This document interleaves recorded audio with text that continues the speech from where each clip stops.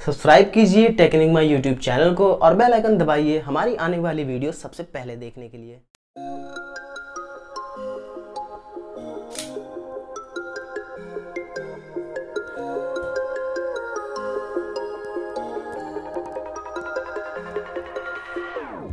दोस्तों, ये वीडियो बहुत ही खास है मेरे लिए और शायद आपके लिए भी उतनी खास हुई क्योंकि मेरे पास आज है मेरा पहला डीएसएलआर ये। कैनन का 1500D जो कि मैंने अमेजन से खरीदा है। तो आप इस वीडियो को पूरा देखते रहिए। करने वाले इसी का अनबॉक्सिंग देखते हैं, इसके अंदर क्या कुछ है और आपको एक डीएसएलआर कैमरे के साथ क्या कुछ मिलता है। तो without wasting any time let get started तो दोस्तों, अगर इसके मैं बॉक्स की बात करता हूँ तो यहाँ पे है कैनन का मार्क बना हुआ। कैनन 1500D सामने लिखा हुआ है और यहाँ पे दो साल की वारंटी के बारे में बताया गया है। अगर इस साइड देखो तो कुछ चाइनीज़ में इस साइड लिखा हुआ है, जो कि समझ नहीं आ रहा है। यहाँ पे कैनन की कुछ डिटेल्स वगैरह हैं, कहाँ से ये शिप हुआ है, कहाँ पे बनाए ये सारी चीज़ें। अगर मैं इधर बात करूँ तो इधर भी same Canon E S fifteen दिए हुए हैं। एक कैमरा बना हुआ है। साइड में कुछ स्पेक्स दिए हुए इस कैमरा की इस कैमरे के साथ हमें देखने को क्या क्या चीज़ें मिलती है। मतलब क्या कुछ है इस कंटेंट के अंदर। तो दोस्तों, इस बॉक्स को तो मैंने पहले ही ओपन कर लिया था। अब बात करते हैं इसके अंदर कंटेंट क्या क्या है। तो चलो मैं आपको दिखाता हूँ कंटेंट इसमें क्या क्या है और हमारा कैसा है कैमरा तो हमें आउट ऑफ़ द बॉक्स मिलता है कैमरा साथ में अठारह पचपन का लेंस साथ में कैनन का बैटरी चार्जर और स्ट्रैप और एक बैग और साथ में एक मिलता है मेमोरी कार्ड सोलह जी का। तो ये है मेमोरी कार्ड अब चलते हैं, धीरे से असेंबली इसकी शुरू करते हैं, फाड़ते हैं मेमोरी कार्ड को लगाते हैं बैटरी को लगाते हैं, और चलो देखते हैं कि कैमरा है कैसा। तो पहले मैं इसको फाड़ लेता हूँ, और इसमें से पहले मेमोरी कार्ड निकाल लेता हूँ, जो कि ऑब्वियस सी बात है, हमें ज़रूरत पड़ेगी बिना मेमोरी कार्ड के तो सेव होंगी नहीं फ़ोटोज़ तो ठीक ठाक पैकेजिंग काफ़ी अच्छी पैकेजिंग के साथ आया था ये। और ये मेमोरी कार्ड अच्छी स्पीड का है 48 एम इसकी स्पीड आती है इसमें। तो अच्छा है। चलो अब मेमोरी कार्ड लगाते हैं और साथ में इसकी बैटरी भी लगाते हैं।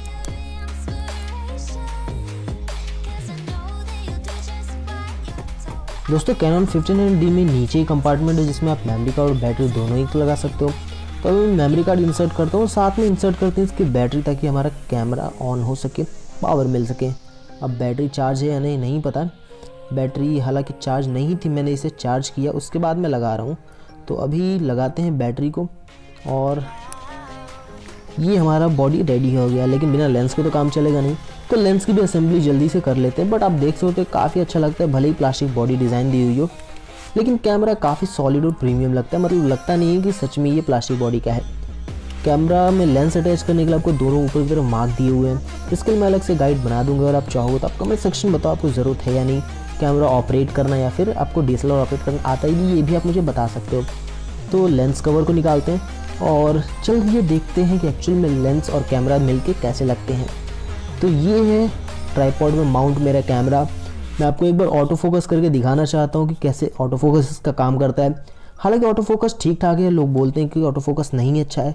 पर मुझे कोई प्रॉब्लम नहीं हुई। हालाँकि मैं तो मैनुअली ही यूज़ करता हूँ कैमरा को बट ऑटो फोकस भी कमाल का ही अच्छा है। मतलब आप अगर स्टार्ट करना चाहते हैं तो आप कैनन थर्टीन हंड्रेड दी या फिर थ्री थाउज़ेंड से अच्छा है क्या? फिफ्टीन हंड्रेड डी ले लें, क्योंकि इसमें आपको मिलता है twenty four point one mega pixel camera और दूसरे कैमरे की बात करें इससे सस्ते तो आपको अट्ठारह मेगा पिक्सल का मिलता है। तो मतलब ये मेगा पिक्सल के मामले में भी अच्छा है, और कुछ खास चेंजेस तो नहीं है बट हाँ एक अच्छी बात है कि ये ऑटो फोकस सही से कर ले रहा है। मुझे कोई प्रॉब्लम नहीं आई।